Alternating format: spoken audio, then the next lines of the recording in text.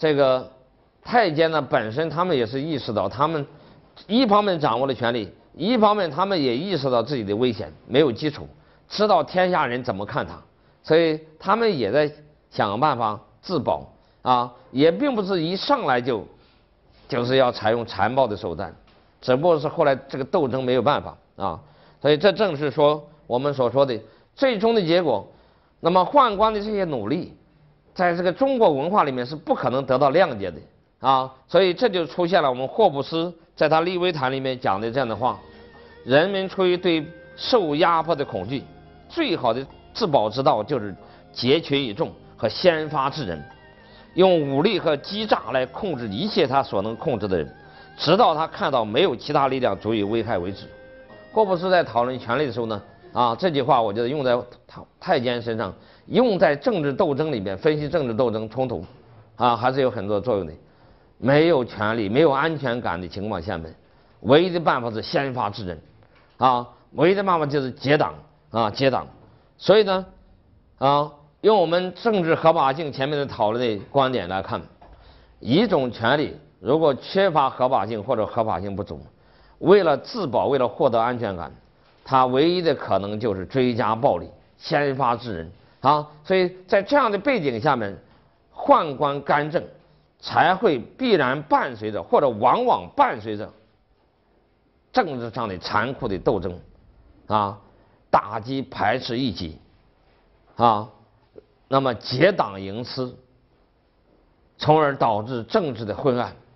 才会出现这些后果啊！所以也并不是说他一啊。他一上来一啊一进入政治就想干坏事，这种人天生就坏啊，也不完全这样啊。另外一种呢，就是我们说宦官的这种畸形的社会化过程啊，也是啊。我们说呢，呃，从前面我们说是文化在建构着宦官，我们上面那条理由可以说是一种互动的观点里面，文化在建是文化在建构着宦官。使他必须采用这种手段。这里呢，我们说呢，啊，皇帝他本身这种宫廷的文化，也在反过来影响着宦官的社会化过程，影响了他的人生观、世界观、价值观，他对世界的认识。宦官生活的天地非常的狭窄，啊，我们搞政治的人经常有一句话叫“灯下黑”。在权力的核心离得太近了，看得太清楚了，你往往是没有信心的，啊，因为呢，我们知道政治，呃，正如我上一次多次所讲的，政治是靠象征系统来维持的，它的很多核心部分一般人，啊，既不用看到，不必看到，也看不到，啊，因为在它的核心，它的真实部分里面，那个处于最高地位的人。啊，他毕竟还是人，他不是神，他表现的很神圣、很庄严，那只是通过象征系统给人的感觉。啊，所以呢，这个时候我们处在这个系统之外的人去观察他，和处在那个内部啊观察他是不一样的。所以著名的在西方也有类似的，正如马克思所提到的，拿破仑身边的这种奴仆式的心理。啊，一方面奴仆式的心理是因为。距离太近了，我们欣赏不到拿破仑的英雄，是吧？在拿破仑的仆人眼里边，拿破仑就是一个人，他一天到晚吃喝拉撒，他展示给他的是暴露无余，是吧？这就是奴仆的心理，他看不到这个人挨得太紧了，使他没有办法看到他身上独特的东西，看到他身上神圣的东西、高尚的东西。那么宦官更是如此。我们知道宦官生活的狭窄的天地里面，他每天所接触的，一个是残酷的宫廷斗争，接触的是政治里面最丑恶的东西、最残酷的东西；另一方面，当然还有皇帝和后妃之间没有任何掩饰的这种啊私生活啊。我们知道皇这个，我们看了很多宫廷的介绍，都知道，尤其到晚清都知道，是吧？那么甚至。他皇帝的最隐秘的生活啊，他的性的生活，都是在宦官的监控下啊、伺候下发生的。所以，皇帝的神圣性以及皇帝所代表的这个文化的神圣性，这个文化的所谓的高尚的东西，这个文化的价值的东西，对宦官来说啊，可以说是那么不存在的啊，不存在的啊，因为他看到的是政治里面丑陋的、最本质的、肮脏的、残酷的东西。这个呢啊，所以使得他们呢没有办法这个有一些超越的东西。对于人类，我们人类生命的尊严的东西，政治中间的理想的东西，他没有办法体会到，啊，哎呀，不要说是太监了，我们一般人也是这样的，是吧？你看看，是吧？这个所以，所以政治里面的很有趣的一个现象，啊，一般人批判的，我们说站在体制之外，啊，或者在一个在某任何一个政治共同体里面，没有得到好处的。人呢容易批判，但是得到好处的人或者纳入体制之内的人，就非常容易理解。你在一个权力结构里面，你当个小官在里面混混混，你会觉得一切很自然，习以为常。你慢慢的会对政治、对人生的很多美好的东西，慢慢的丧失了感觉。你慢慢的会对超越的东西，你觉得一切都这么自然，就应该这样。你原来的批判的东西没有了，原来超越的东西没有了。啊，所以这也是再次提醒我们，人类的这种批判的精神、反思的精神是多么的可贵。因为我们人太容易同流合污了，我们人太容易随波逐流，太容易我们的身体太容易被体制化，啊，被那种网络组织格式化了，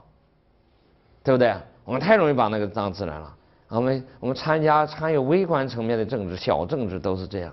大政治更是如此了。每天在宫廷里面毫无掩饰的在他面前进行，你说让人家保持高尚的人格，他又没有宗教信仰，啊，这就像我讲医生似的。我们现在的中国的医患关系这么紧张，我们的医学这么问题，也包括大学也是这样的，没有宗教。我们知道，我还是这样讲，这个西方的这个现在的大学和医院，它都是来自于很大程度受宗教的精神的影响。救死扶伤的人道主义，这个生命背后的神圣感、庄严感，这是宗教来的。如果用一个现实理性的人，完全用理性的眼光去看待病人，一个人老生活在病人的中间，怎么可能有昂扬的光明的东西？怎么可能有美好的东西？是吧？一个一个牙科医生，每天张开嘴就看着又臭又脏的牙齿，怎么可能保持中保持高尚的东西？一个做外科医生的人，整天面对的是残肢断腿、血乎乎的肉体，在他看来，天天看这个生命有什么美感的地方，是不是啊？没有宗教的情怀，没有这个背后的这个高级支撑，我们的能够走多远？反正我自己我不敢保证，是吧？所以呢，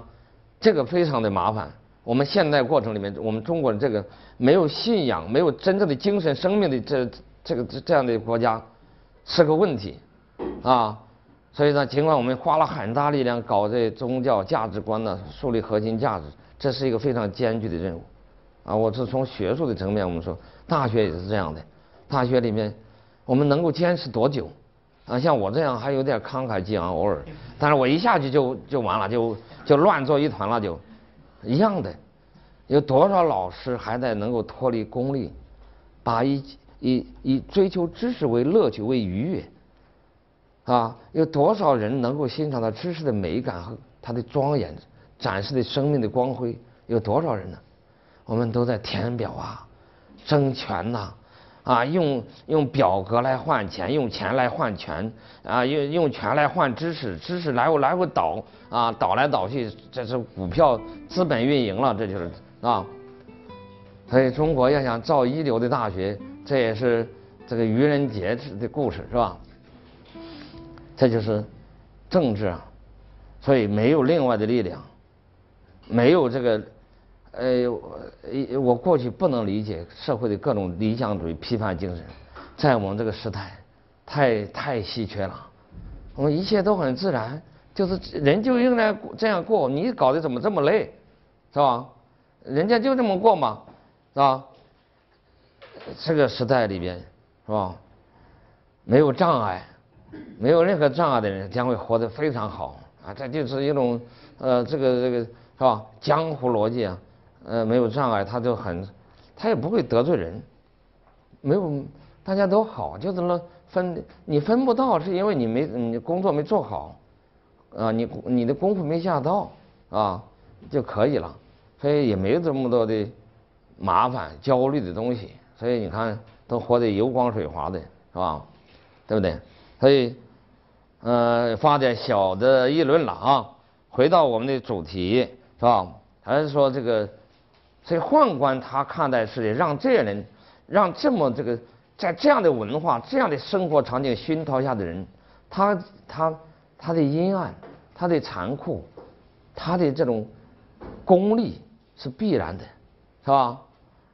对他来说，皇帝这么神。你你想想，皇帝出来这么神，这就是玩弄于他鼓掌之下，是他抱大的，他养大的，啊，皇帝的一举一动，皇皇帝是是是吧？他的可以说他身上的每一个细胞他都清楚的，你说他能够有什么神秘感？他对这个对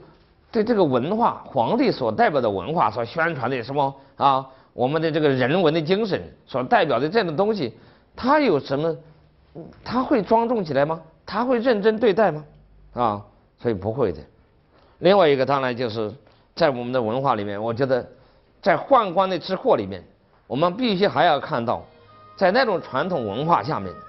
那么那些以清流自居的官僚士大夫，他们实际上本身也不要逃脱这场责任，他们也是宦官之祸乃至于专制政治之祸的共谋者，他们共同完成了这个。中国历史上一场又一场的悲剧，他们是共同的参与者，啊，不要以为他们是批判，不要以为他们甚至很多人终身以铲除、歼灭啊阉官的势力为志业，恰恰是因为他们这样一种终身以啊以这个铲除阉官为事业为使命的这样的行为，才造成了真正的宦官之祸，才完成了宦官之祸啊。你想想看，我们前面举的张亮的张亮的例子就会知道，是吧？啊，你们笑什么？不是张亮老师啊啊啊，对不对？啊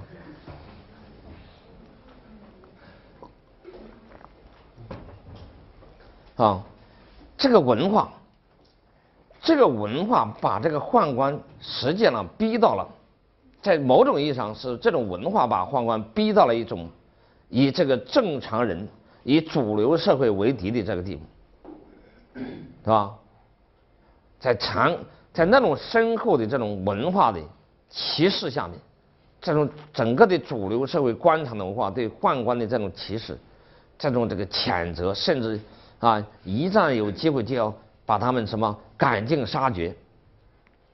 啊，我刚才至少讲了两次，你看董卓，董卓这样的也知道替天行道，黄巢这样的人。他们把宦官，呃，最后是宦官，只要见了没胡子的，格杀无论，是吧？他们这样来做，你想想，那么这些人他们是在一种极度恐惧、极度不安全的这样一个状态下面存在，他们为了自保，唯一的可能就是用加倍的暴力，啊，或者说我们说。一个当一个人对于来世、对于未来、对他的生命身后没有意义感的时候，他会极度的重视此时此刻的对权力的疯狂的这种玩弄、疯狂的这种占有啊，所以呢，饥渴啊，所以那么宦官他当然要弄权，是吧？他要玩弄权力，他没有别的追求啊，是吧？也不考虑到来后世啊，也不考虑到别的。那么就是说，对他来说就是，啊一种啊恶补了啊一种非常恶补式的来来耗尽自己的一生完了啊，所以呢，这个我看原来姜文演的太监演的真好是吧？那这个演的很好啊，那个就是这样的啊，所以这个所谓的这个呃官僚士大夫所代表的正常的世界啊，他要去反抗他啊，我觉得这个这。啊，这一点呢，当然我们没法，没办法，历史已亡也，是吧？我们没有办法让那让那些官员去反省，但是我们今天的人要反省的是什么？啊，一种文化。那么如果说对另外一批人的过度的压抑，啊，那么这个账，这个积累的仇恨和怨恨，它是要爆发的，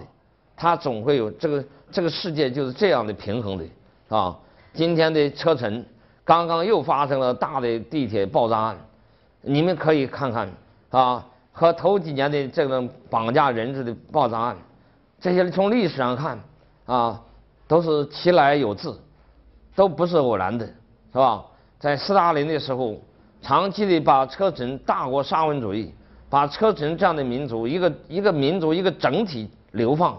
是吧？后来再加上这个后来引起的反叛，反叛以后又要在普京的时候又要对他们剿灭，这样这就是循环。互动，啊，社会的身份，我们每个人在社会政治中的身份，我们的身体，我们的价值观主体，都是在斗争中间互相强化和建构的，这就是啊这样的啊，所以我觉得通过宦官呢，这个这个这个也可以看出这个问题，啊？当然这个另外一个问题呢，就是我们讲的这个后妃问题，这个后妃啊。我们知道，呃，在这个专制政治下面，那么这个像东方国家所代表的这种呃政治体制下面，家天下，那么这个后妃制度的产生啊是必然的啊，因为从更深远的文化意义上，从人类学的意义上讲，后妃代表的是一种呢，可以说是一种男性为中心的文化，一夫多妻制。啊，这个恩格斯那么多次有这样的讨论啊，一夫多妻制，那么人类啊文明啊这个一夫多妻制的一种反应，那么在政治关系上啊，那么会表现为这样的啊后妃制度啊。当然，我们说在中国文化，在东方文化，这个在这个奥斯曼在土耳其啊，在这个东亚社会里面，这方面呢都比较突出啊。因为呢，这个唯一的文化的例外是基督教文化，是西方文化下面。那么正式的一夫多妻制，啊，当然我们说包二奶偷情，啊，啊马克思恩格斯所讽刺的资本主义下面的偷情，呃，这个呢，不能算正式的多妻制了。在东方文化里面，这种正式的多妻制是比较普遍的，而在这个西方文化，在基督教文化下面。由于基督教，啊，我们从理性上解释，基督教最初发源于下层，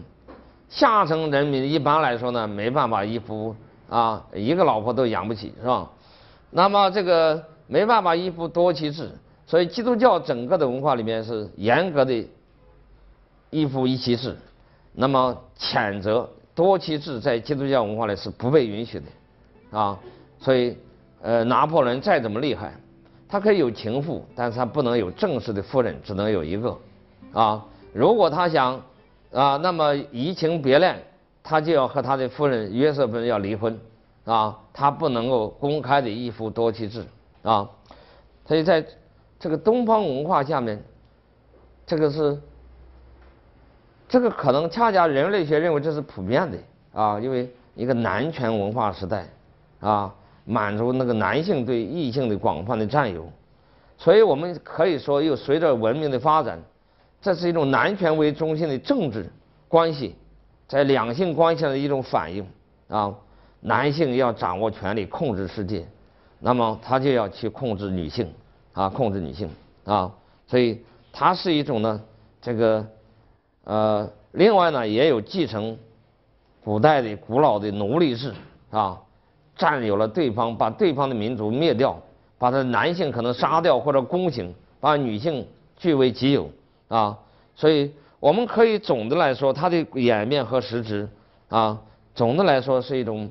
男权文化，以至于呢，或者说啊，这种两性关系在政治生活里面的反应啊，是男性权利或政治权利的一种一种反应啊。